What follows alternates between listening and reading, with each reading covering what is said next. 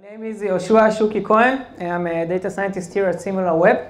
And today my talk would be about samples that were not born equal.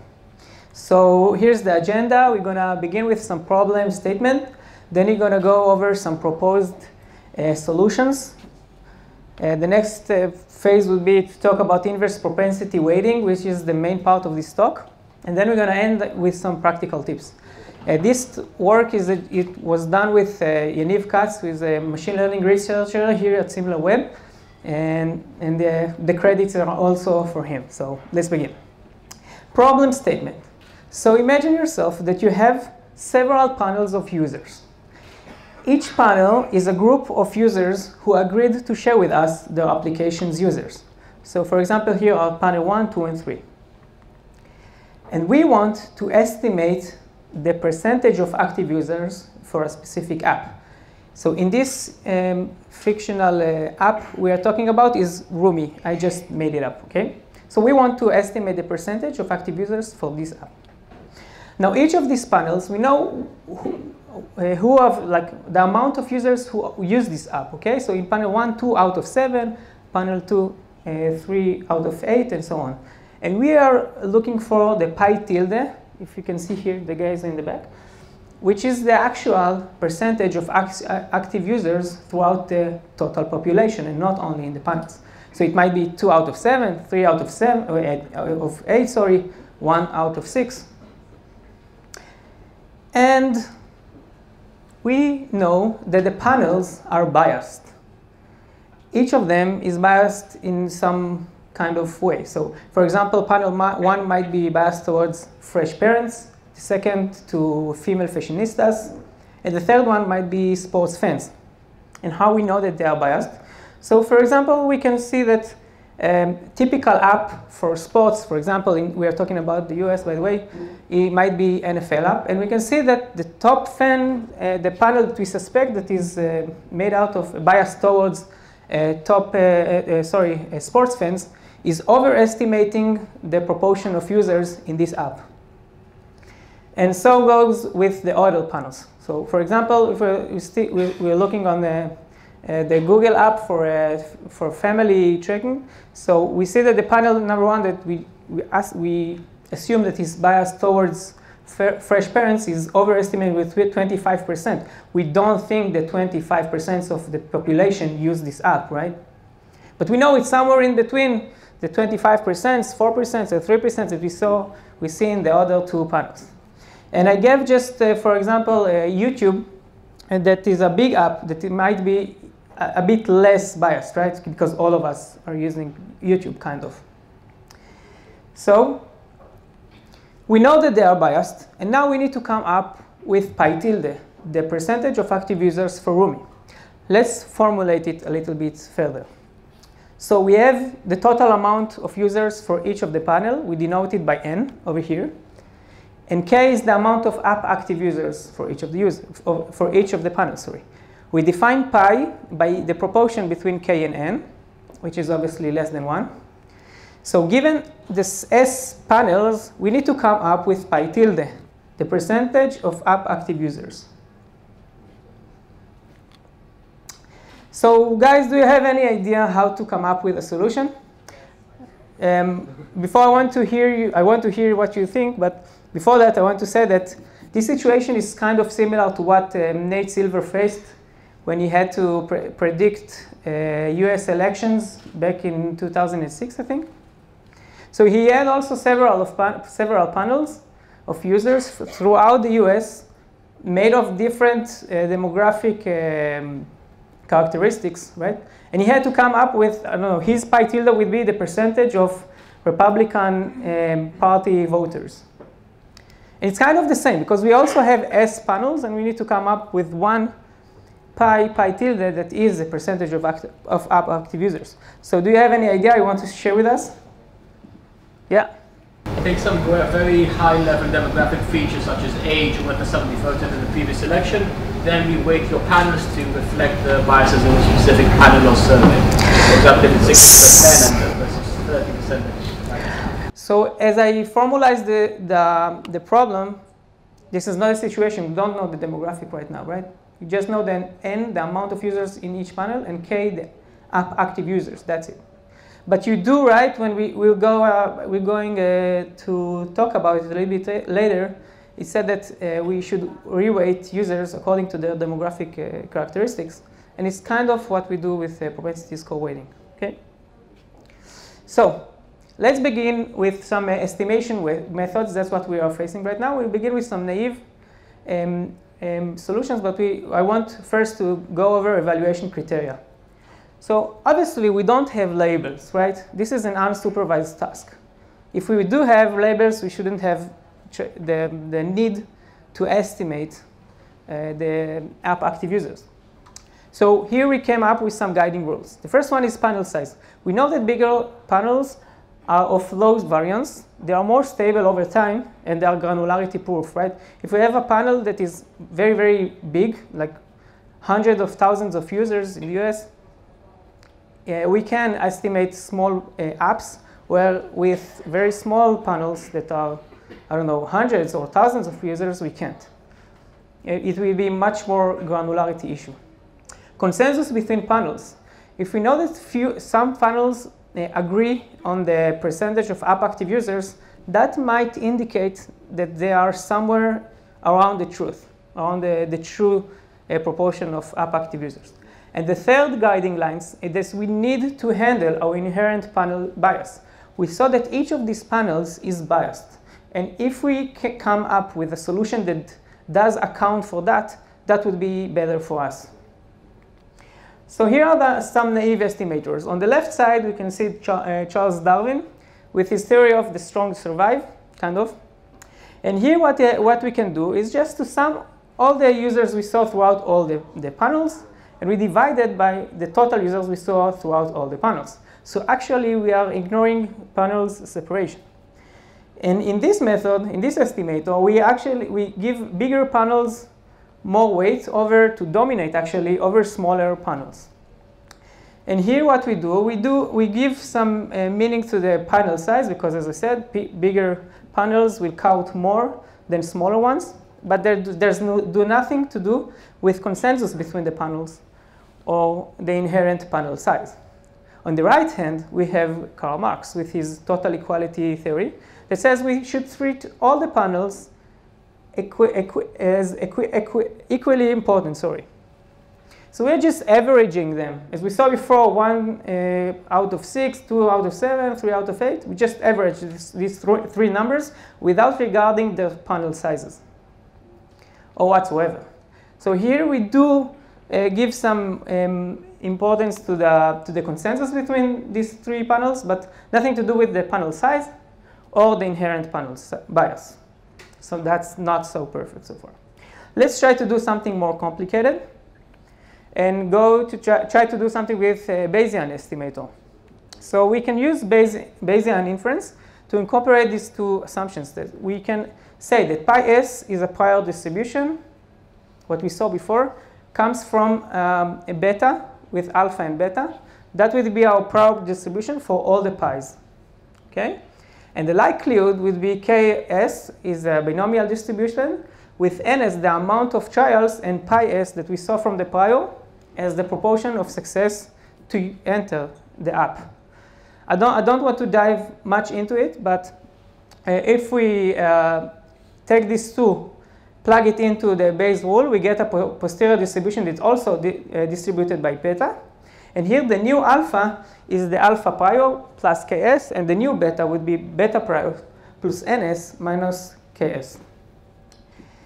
And what we actually do, uh, we can take the expectation of uh, pi s given ns ks, that would be, um, as you can see here, this term, that would be actually the smoothed term of pi s, and you can see that as the, big, the panels bigger, they are less affected by the prior, right? If k and n very, very big relative to alpha and beta, they will be less affected by it. And to come up with pi tilde, we just average between the three. And if we go to our criteria, so we do account for the panel size, as I just said, and consensus between panels and to handle inherent panel size, uh, bias, sorry, it does really depend on how we choose our prior, right? If our prior represents some consensus or account for the inherent bias, so that would be okay, but it's not that easy to come up with prior, and I'm not going to dive much into it right now. So yeah, we talked about some naive estimators, now about Bayesian estimator, and I want to talk to add some spice to our problem. So we said that each of our panel possess some bias, right? Demographic, as we saw, as we can guess from here for our example, maybe interest, technology orientation, country of origin. So uh, you can imagine yourself that, that fresh parents are more likely to use apps that are more uh, related to parents, but are less might be for um, as a sport fans like NFL. They we, we can see there that they are overestimating for an NFL app and all the sports app, right? As we saw before. Now I want to add some spice. Imagine, imagine yourself that we, as, we asked the users and they agree, agreed to share with us their metadata. So instead of just having the user, uh, whether he opened or, or did not open the app, now we also have age, gender, income level, and few more uh, metadata. So now we need to come up with a new estimator, okay? Propensity score. This is where our, uh, the part of propensity score is getting uh, to the front stage. So what is propensity score and why we need it? If panels were randomly sampled, which we know that they are not, we are not in a problem, right? But they are biased. And this is also called observational study. Propensity score actually helps us to turn an observational study in, into pseudo-randomized trial by reweighting samples, and I will show you a, a, a concrete example just in a second. Propensity scores uh, methods are used to draw causal inferences from observational data. And observational data is the data we can't control. We just get it, we see, we can see, just like here in the photo, we only can see what we get, we can't control, we can't ask ourselves, okay, we want more uh, samples from this group or from that group. We can't do that. We just get the, the data and we need to do something with it. So let's uh, give some example. We want to ask ourselves, what, uh, should the government fund AI job training? So uh, what would we do? We have uh, x, which is a d-dimensional vector for each of our uh, participants.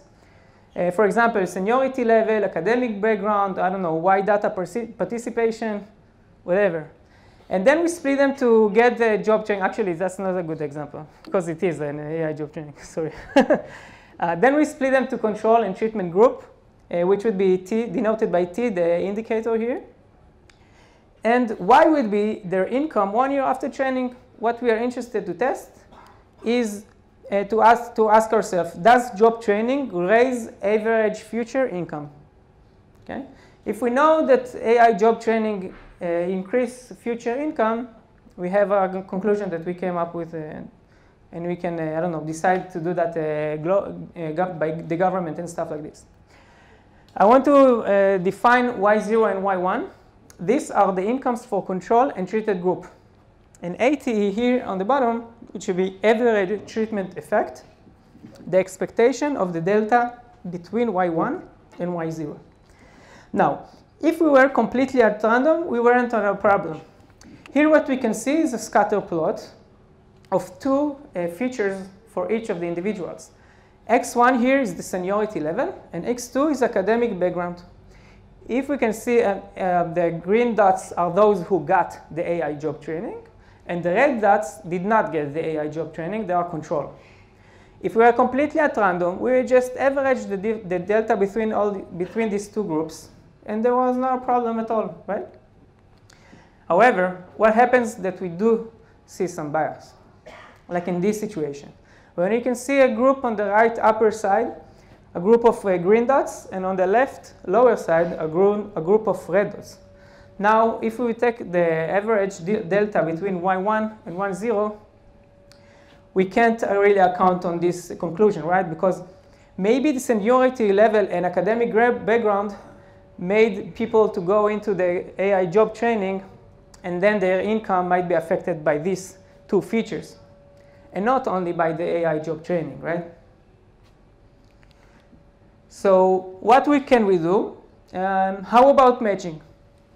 What we do at matching is that we, found for, we find for each of the individuals in each of the two groups, here I just uh, circled four, but we are looking for the couple um, most similar instance from the other group. So from the control group, we are looking for the control group, for the treated group, sorry, the most close, closer one, and then we can see the individual treatment effect, how these two, the income from these two individuals were different, okay, because they are very close by their features. So we can take uh, all of the matching like here, and then average their effect. Is that clear so far?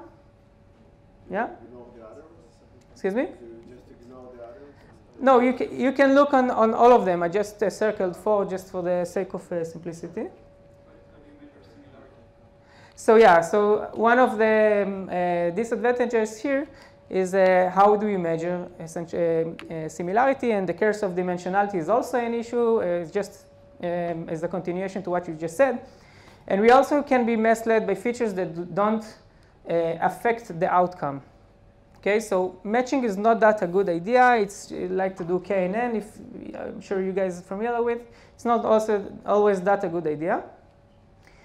And what about uh, using inverse propensity weighting that instead of just using uh, looking on the matching, we actually give them different weights as you just saw here.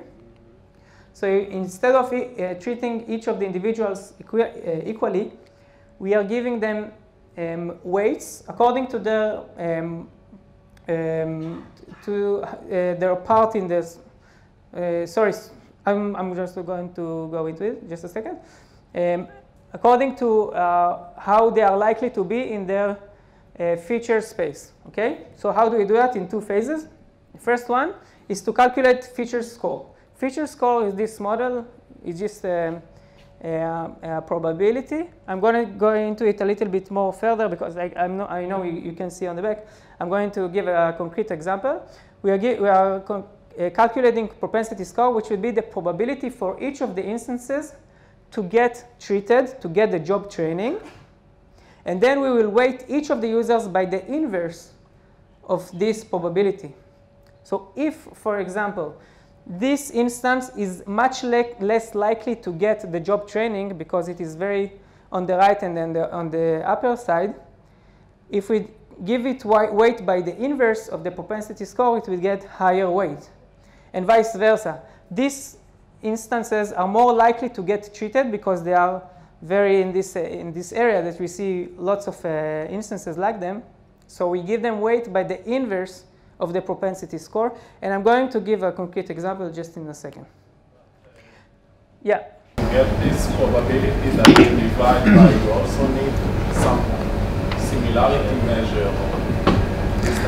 Um, not really. So he said this, to come up with this propensity score, we need to come up, we need a similarity measure.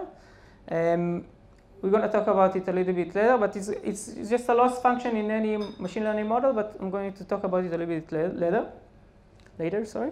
So again, as we saw, if we, if we see overrepresented samples, we want to give them lower weights, and over and underrepresented represented, sorry, uh, samples, we give them overweights, bigger weights. Okay. So two necessary conditions we need to remember before we continue talking about uh, propensity score. The first one is ignorability. The incomes of the independent of uh, are independent, sorry, of the treatment assignment conditional on, on convariance x. So that means that if we split users to treatment or control, it does not affect the outcome. Just uh, for the sake of how we divided them. The second uh, condition is common support or overlap. That means that both treatment groups have some common samples X.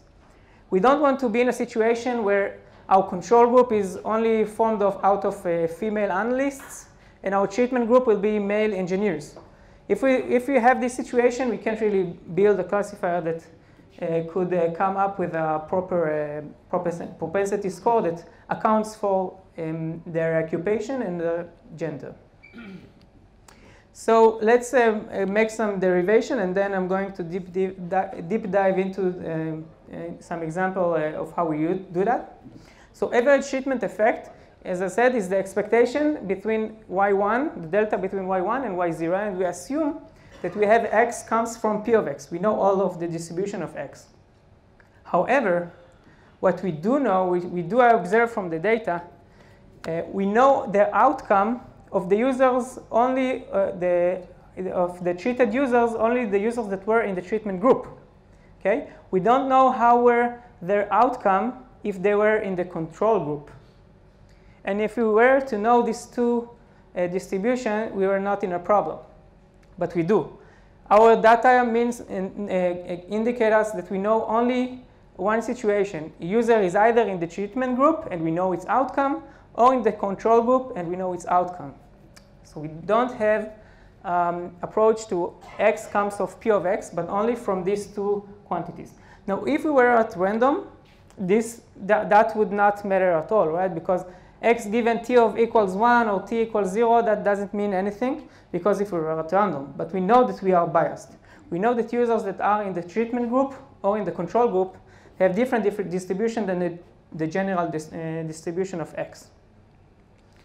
Now, how do we turn this distribution, as I said before, p of x given t equals 1, the users from the treatment group into the general population, p of x?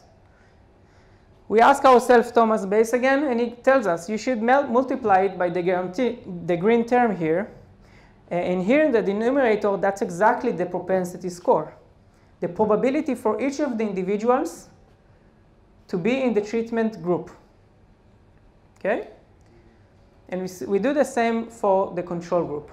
So again, if we were only to account for the users that we saw in the treatment group, as here in Y1, we adjust just sum over uh, these terms over uh, Y1. And if we want to go to move to P comes from P of X, we would need to multiply it by the green term here, which we here in the denominator, as I said, is the propensity score. Here in the numerator, it's a stabilizer p uh, t equals 1, we can estimate it uh, proportionally, from, uh, empirically, sorry, from our data. Uh, and something I want to mention here. So imagine yourself that we want to use the propensity score, but we don't know, and we are in a randomized uh, trial, and our, our um, uh, separation to treatment and control group is exactly half and half. So that would be 50%, and our propensity model would do nothing to, we would not be that good at um, uh, discriminating between a treatment and control group. So that would also be around 50%. And uh, 0.5 uh, divided by 0.5, that would be 1. And our weight would be just 1. So we didn't affect at all our um, expectation of y1. Okay? Any questions uh, until here? I'm sorry about the some uh, math uh, hard times. okay. So here's uh, our example. So um, I want um, to emphasize the, the idea of propensity score. We want to turn observational study into pseudo-randomized trial by reweighting samples. As we saw before, we want to give higher weights and lower weights to users. How we do that? We begin with train a classifier using any machine learning tool we want. But there is a red asterisk here. We need a machine learning tool or model that can give us probability but it should be also calibrated probability. Calibra a calibrated uh, model is a model that gives us probability, but the probability has probabilistic meaning.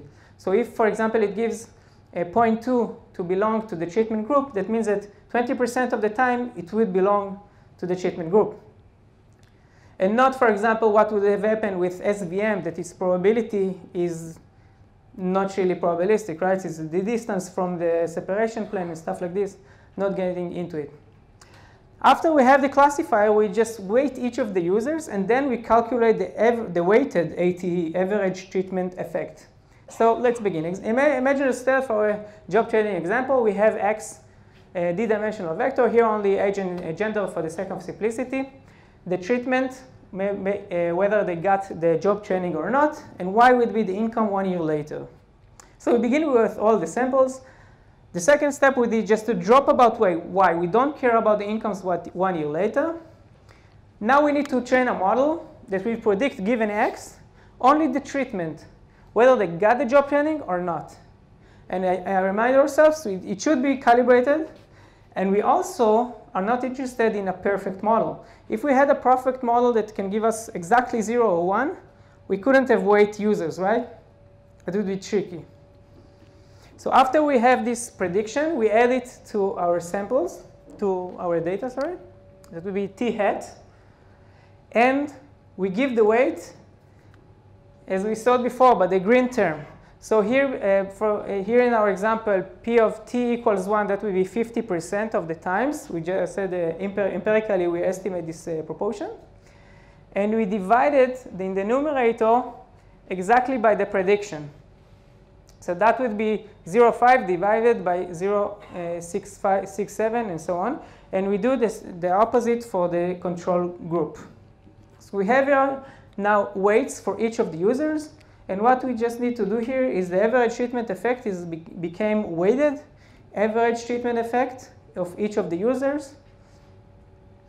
And we get uh, the um, uh, the outcomes for each of the group treatment and control, and we see that it's definitely different for what we have, we could have uh, get if we were to not weight it again to the general population. That's what we did with propensity score.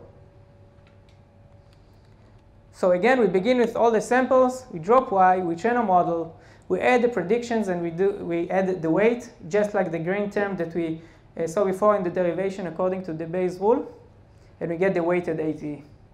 So back to our problem. We are interested in estimating the proportion of active, active users. Let's try to formulate it once again, and we, we want to use propensity score weighting to our task. So x would be the d-dimensional vector, as we said, users metadata that was added to us. Y would be the indicator of whether user opened the app or not. And now how do we define treatment and control groups? It's not as we saw before with the job training stuff. So here's an idea. Let's define a control group that will represent the general population as much as possible. Uh, for, so here I, I um, uh, took Chrome app, which would be, I guess, the most uh, general or generic app you can think of. And we took all the users that used uh, Chrome app as to be the control group. And against each of the panels, we build a classifier that would be the propensity score for each of the users. What is the probability to belong to the panel? Because the panels are the treatment and the control would be uh, the Chrome users. Now we don't care about the users um, in the, about the usage of the app in the control group, only about the X covariates. And then we will reweight each of the users. So here's a, um, uh, res some results. So for each of the panel, I calculated uh, the propensity score, P of t equals 1 given x. I used the LightGBM model and calibration. I'm sure you remember why.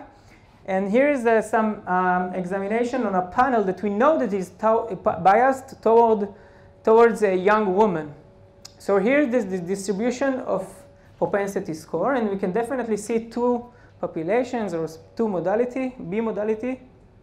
And if we examine, look into it, we can see that 67% appear here on this uh, area of a higher percentage of, uh, of uh, uh, propensity score, which match, match lots of sense for us because individuals that get higher uh, predictions, as we can see here on the right side, are much more likely to be in our panel that we know that is biased towards young women. So young women will get higher predictions, because are, we are looking on a biased panel. And lower predictions will be much more like the total population. And that's exactly what we get here with 50% uh, female. And then we weight by the inverse. So if we see here uh, female that are overrepresented, we'll give them the inverse of this pre prediction to account for this overrepresented representative uh, representation uh, in the panel. And this is also a nice uh, graph. I split it by female and male. So the uh, blue uh, distribution would be for female. Also, we are looking on propensity score. And the green one is for male. And you can definitely see that females get higher propensity score, which does make a lot of sense for us, and the female much less. So again, instead of having only axes that we saw only in the panels that we said that each of the panels is uh, t equals 1, as we did before. Now we have x, we want to have x comes from p of x, that the general population of our users, and we need to multiply each of the users by the green term here. And this is actually weighting them according to the general population, the two-inferred from Chrome users, as uh, we said before. Now, after we do that for each of the panels, we want to come up with pi tilde, we can just average that. And if you're looking on our uh, criteria for the estimations, so we see that panel size did not uh, did account here in here in this uh, method, in this estimator, because it didn't give any, any meaning to the panel size, size sorry. However, that's not that hard to come up with a creative uh, solution. But uh, talking about consensus and, and, and, to handle inherent panel bias, we definitely account for that. Uh, regarding the panel bias, we just, that's exactly what we did with the propensity score. And co consensus is what comes up from this averaging over all the smooth uh, pies. Some uh, caveats we need to account for when we use propensity score. So our model is not 100% accurate. Obviously, as every machine learning model, it's not 100% accurate, and we should uh, take that into account because if our model is not good enough, we can't really uh, assume that it will give us significant or meaningful propensity scores. And also is the calibration. The calibration, as I said, is a process to give uh, our uh, probabilities um, probabilistic meanings. And this is also a, a, model, or you can say you could call it a model, but it's also not 100% uh, accurate. We also assume the ignorability and common support. I'm sure you remember, so ignorability, separation to treatment and control group does not affect the outcomes. And common support that we see both uh, kinds of samples in treatment and control groups. And extreme weights here, because we give weights, can uh, be very destructive. Uh, we can uh, find some, I don't know, weights that are hundreds times the magnitude of power relative to others. And uh, as we said, uh, the last point we said uh, before. So propensity score for selection, selection bias, something you, that you can take with you to what you do in your daily routine. So selection bias is actually just what we said if we want to call it uh, in a different in different words. We have two groups that are not properly randomized, and it's it's most of the times it can happen, or not most of the times, it can happen when we have learning set and production set. So learning set is the set that is, has labels, as you can see here, and we are training on it. We develop the best machine learning model we want. But when we deploy our model to production set that we don't have labels, Sometimes production set distribution of features is much different than what we learned, the distribution that we learned with.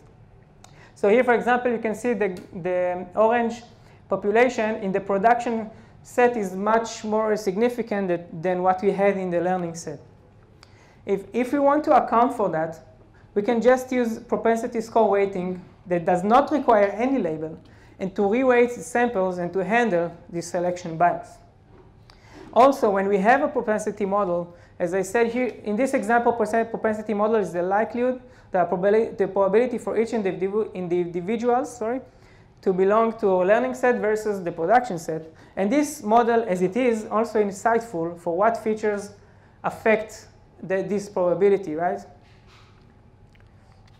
So what have we learned? We talked about pro the problem uh, that we want to estimate the proportion of a specific app and we have several panels that we know that they are biased.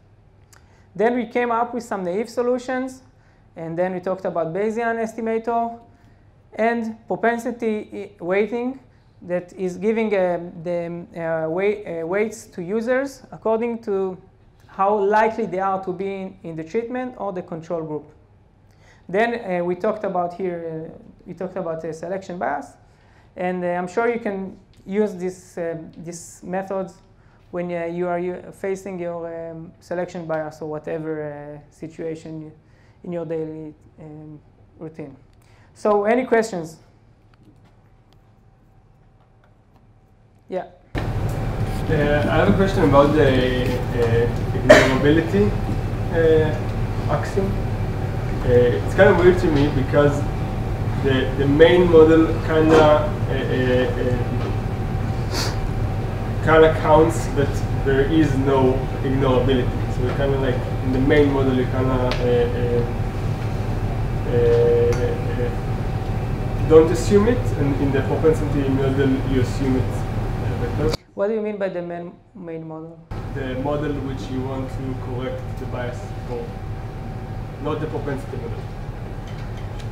The, the main model that uh, we talked about uh, in the first time, in the first place. It's kind of weird to assume that the uh, outcome of a person, mm -hmm. given the character, the characters of the person, uh, uh, is independent of very of whoever is he is chosen or not chosen to go to the experience. So I want to uh, make that uh, point a little bit more uh, sharp. So what we say with ignorability, that all that is affecting our outcomes might come from X's and not from the treatment uh, separation.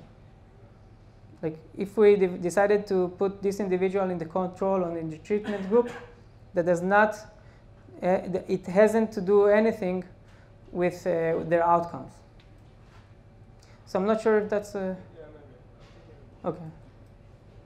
Yeah. Uh, do you have any data about the added value of the complexities of the system um, in comparison to the main uh, solution? So yeah, she asked about if we have any uh, proofs that uh, our method uh, works. It, we have, but it's a proprietary, so I can't share it here. Sorry. What I could, I, I did. I did share. Yeah. Only a question, more of a remark. A great talk, and um, not all of you know, but Shuki is a very data scientist. He's also a fresh father, and his wife came birth four days ago, so give him a